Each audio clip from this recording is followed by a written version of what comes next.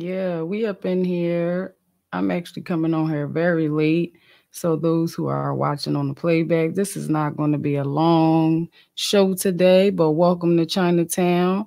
We might change that, but for right now, this is welcome to Chyna Town. I am your host, CB Mann. So I wanted to come talk to y'all about this Hernandez, uh, Aaron Hernandez documentary. Um, I want to know your thoughts on it. Let me know if the mics sound real good. Um, setting up the studio. So I'm trying to make sure this mic is good. I'm not too loud. I'm not too low. Not a bitch. No. So um, if you have not seen the documentary, hopefully this doesn't spoil it for you, but it is what it is.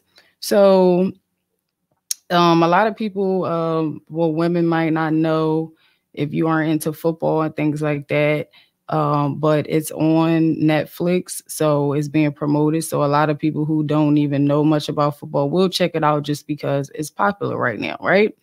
So first off, um my man put me on my man e put me on so he like bam did you see b did you hear about this new movie you know this um this documentary about aaron hernandez i'm like who the fuck is aaron hernandez right so long story short me and my man start watching it or whatever the case may be and they begin talking about you know his lifestyle and and things like that now he is actually deceased um he allegedly committed suicide in jail and um, they pretty much did a backstory on his life and showed, you know, that he was abused by his father. Um, now, as I was watching, honestly, my gaydar went off, y'all. I'm not gonna lie. When they were showing pictures of him and like little clips of him when he was a little bit younger, my gaydar went off. Okay. So his father was also a known football player. So he looked up to his father, wanted to be like his father. So he started playing football very early. Now, one of the reasons why I don't allow my children to play football is because of those concussions and other shit like that, right? Um, so he started playing football very early, him and his brother and things like that. And his household was pretty hectic. You know, his mom used to get her ass whipped by the dad, and it was a normal thing to see them fighting and everything like that. So he pretty much grew up in like, you know, a traumatizing household. So allegedly he was also uh, sexually abused. I can't remember if it was by the dad, don't quote me, um, or if it was by uh, you know, somebody in the neighborhood or something like that. So yes, he was molested. Okay. So also there were a, a, few people on there that confirmed him being gay and said that you know one of his friends from school or whatever that he grew up with said that they used to be getting busy. You know, people used to think they was hanging out, but they was actually you know getting it in together. And um, like I said, for me, my gaydar pretty much went off, so I wasn't shocked. Um, so moving on, his dad dies at about when he was about 16 years old, and that really tra- changed his life. Come to find out, child, the mama, the first of all, the mama is a piece of shit, okay?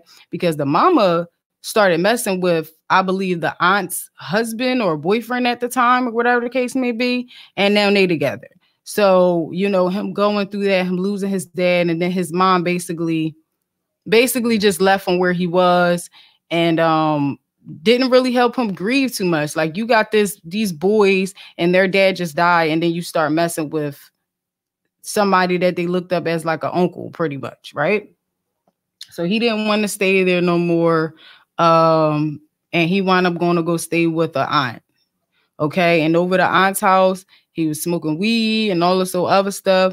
Come to find out, y'all, he was doing all type of stuff. He was smoking wet, y'all. Who those who don't know what wet is, is PCP.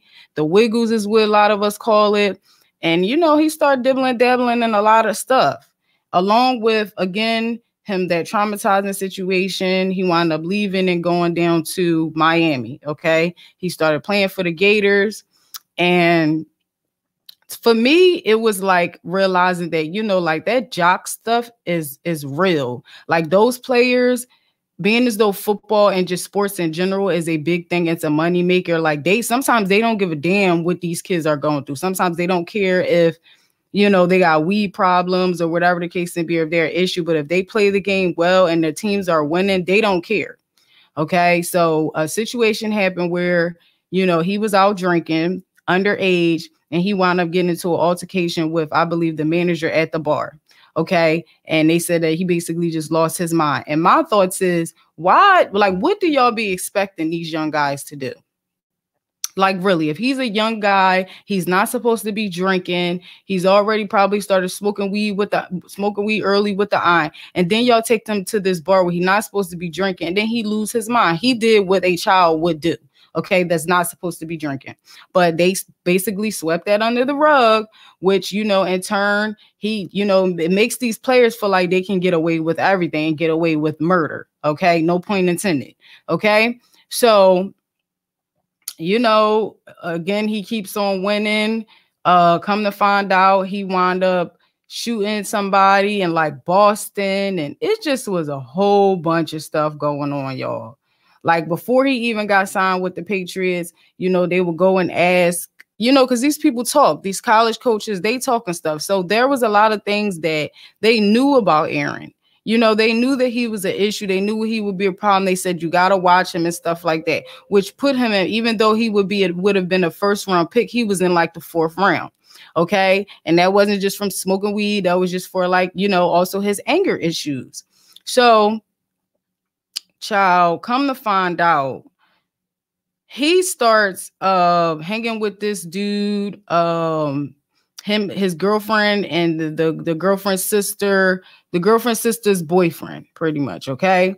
And they started hanging out. And this dude was also a football player, but he wasn't as big as Hernandez. Okay. So they started playing, you know, hanging out or whatever the case may be. Come to find out he was more of a calm person. He ain't really get into the drinking like that. But being as though Hernandez was getting at a dollar, he taking them to the bars and all that stuff, buying them stuff, buying them drinks, spending a whole bunch of cash and stuff like that. Come to find out, y'all, he didn't let this dude hold a truck or something like that. Okay let him hold the truck. The dude is driving around in this man truck and whatnot. And then once one one night in particular, they he pick him up saying that they gonna go out, even though he had to go to work and then the next morning he pick him up, and the dude didn't come home that next day. Okay, come to find out he didn't text his sister, letting her know that he's with um NFL. That's all he texts or whatever the case may be. It was child. It was just a lot. Like I, I just I just seen so much like bad things that have led him to this point. I'm not making excuses for him because he did wind up killing that dude. They couldn't really find a motive for it. They charged him as far as um I believe they did charge him for the dude's murder. And I, I think they didn't charge him for or did they? I can't remember, y'all. I believe they charged him for uh that do, the the double homicide and then they didn't no no no no they didn't charge him for the double homicide because they felt like it was a weak motive okay and what's crazy to me y'all in the documentary this dude didn't cry when they sentenced him but when they got the the second charge came around and he got the lawyer the same lawyer that got casey anthony's bitch ass off right he didn't even cry. I mean, he cried. Like he cried when he did when he didn't, you know, was when he wasn't found guilty, but he did he didn't cry when he was found not guilty.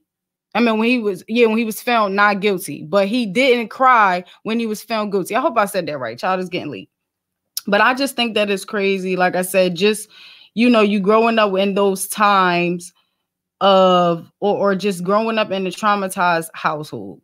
You know watching your mama get beat up you going through this phase of being molested and then you being gay and I want people to know. And I, I think even with the dude that he killed the the girlfriend sister's boyfriend or whatever I think that dude either they was probably getting in together too like you know doing some gay stuff or he the dude found out that he was getting into some gay stuff and that's why he wanted to take him out. That was my opinion. And it's crazy because it is so many situations like that. Like it makes me feel like how many of the dudes that we know is just out there.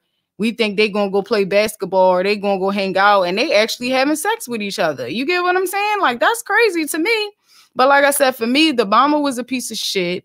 Again, you didn't even make sure that he was okay as far as him losing his dad, and then you move on to this dude that's supposed to be his uncle. Now, I also heard that the maybe the, the stepdad, the, the fake ass uncle, whatever, molested him too. Now, I don't know if that's true or not. I can't remember if I saw that in the documentary, but let me know if that's true. Y'all can let me know if I'm wrong or not. But I just think that, you know, even after, okay, okay, so he committed suicide, right?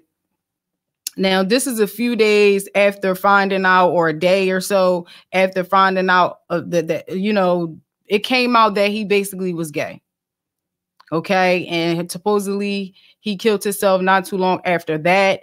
And I just think that it's yes, it's an unfortunate situation, but he did take those bodies. Okay. And later on, they try to say maybe it was a CTE issue, and they compared his brain to another player who had the same uh, situation. And I don't know. Do y'all feel sympathy for him? I know this is an old trial, whatever, but they brought the story back out. Do y'all think this? That, do y'all think that that did affect him? I do believe that you know you starting off starting off playing football at a young age. You've been getting knocked in your head a lot. The fact that he was making those irrational situation, you know, irrational reactions to the situation, you know, just not even thinking. Maybe that was something that affected him. You know, it's it's very fucked up because feel sympathy for his family, not him. I could I could, you know, I agree with that. I feel yeah, I feel sympathy for his daughter and you know things like that but you kill people dude like you you went out and killed people two people and then he tried to kill the try to kill the fucking weed man is weed man and shit that he was buying ratchets off of i'm like yo this is crazy like this this dude was doing all types of stuff. But again, we talking about okay, your brain, you you getting your head, you know, knocked on, or you playing football and you getting hit all these times, and then to add on the fact that this nigga was doing what? So who knows in some of these situations when they was getting drunk and also fucking around with some some wet, some PCP. So who knows how they were reacting? Who knows what was going on in that situation? You feel me? I just wanted to talk about this situation, you know. Um, and again, I'm getting back to where we used to be as far as audio and things like that. So let me know if the audio was pretty good. Let me know what y'all, you know, reactions are to this situation. I didn't want to do a long show. I just want to come on and talk about this for a little bit because again, I feel like it was a whole lot of things that led that could have led him to doing what he did. And it doesn't help when we have when when it starts off with fucked up childhood. You know what I mean? Like traumatizing situations, messed up households, you watching this violence all the time, and then you become this super, you know what I'm saying? And then again, like I said, they uh, they knew it was a lot going on with him as far as when even when he was with the Gators. So to go through that situation, they sweep a lot of shit under the rug, and then you these people think that they can get away with stuff. Like, how many movies or how many just random situations do we know of where you have sports players who barely know shit as far as education? They don't know. Uh, they a lot of them aren't doing good in school, but because they play well, they be like, okay, you can at least get a C, and you move like you get what I'm saying. Again, why would y'all y'all got him in this bar drinking at a at a, at an age he's not supposed to be drinking? Y'all expecting him to act like a grown man? No, man, no. And then his wife finds out about him about him being gay during the trial a few years ago. Like that's crazy to me. Then the wife supposedly, you know, was hugging the sister. The sister came over there for a little bit and she was getting rid of a bag and kept going in the basement, having private conversations. And they both was on the stand. So, so all of these, all of these, um, um, these families were being torn apart from these killings. Like they didn't even find out about the Boston murder double murder until after the fact while he was on trial because they found the car at the aunt's house. Now the aunt, the aunt had cancer and everything is the only one that got on trial and says that got on trial and says she ain't saying a word. But that was the one that was really his mom. She protected him. She knew how crazy his ass was. That's why she was willing to take that car. She probably didn't even know nothing about the car, where the car came from. He probably didn't even tell her. But she would have done anything for him what what his mama wouldn't have done. He probably told his mom about him being molested and everything, and she probably ain't do shit. She probably ain't believe him. Like majority of those goddamn moms. CTE happened to a lot of ex-players who didn't go murder people. Exactly.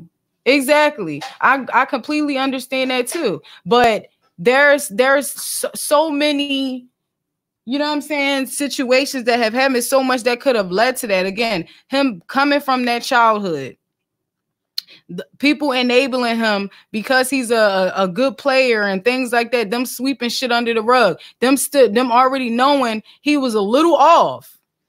He signed a whole letter saying that he would, you know, make sure he passed a certain amount of drug tests and then failed the motherfuckers. So y'all continue this on and allowed is because of again winning games and stuff like that. But I, I completely agree with you know a lot of people having CT, but that's the problem there. Like, why do people got like it's just that I'm just not allowing my children to do that. I'm not allowing my children to play football because of those reasons because of those reasons. You're not gonna keep knocking my. That's like a, a whole a boxer and things like that. Like you just constantly keep taking hits over and over, over and over, and expecting your brain not to be affected by it. I don't know, man. Like again, I just wanted to come on here and talk for a few minutes.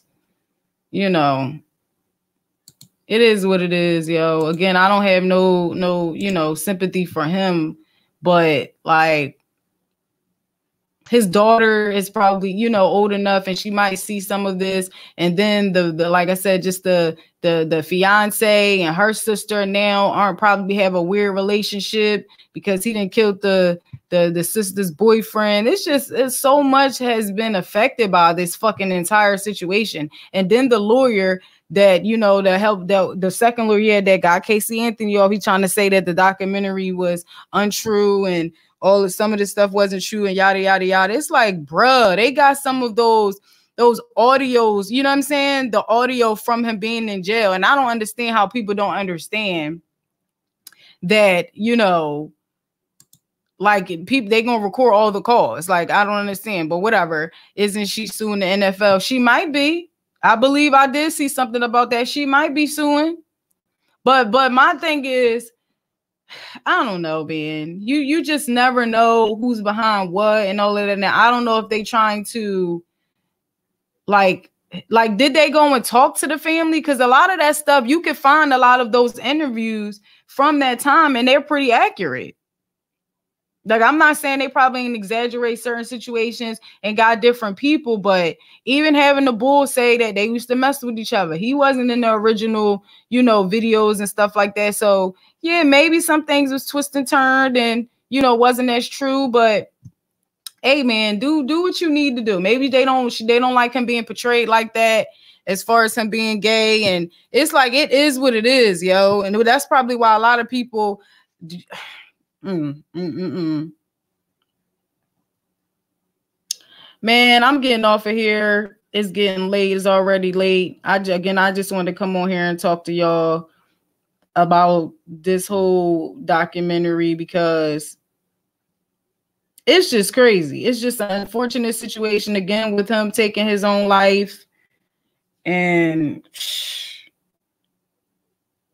and she still got to raise that daughter. She still, you know what I'm saying? She got on that stand and rolled for her man against her sister and everything, against her own family. So again, she probably have, has had a weird re- relationship and everything. I don't know. I keep saying I'm gonna get off, but I am gonna get off of here. Um, I'm gonna try to do another live where y'all can see my face tomorrow. The web camera is back. We back up in here. You know what I'm saying? So again, let me know your thoughts. Put your comments in on the playback, all that good stuff. Thank y'all for tuning in. This your girl Chyna Blakk CB Mann, and I'm out. Welcome to Chyna Town. We are out of here. Okay.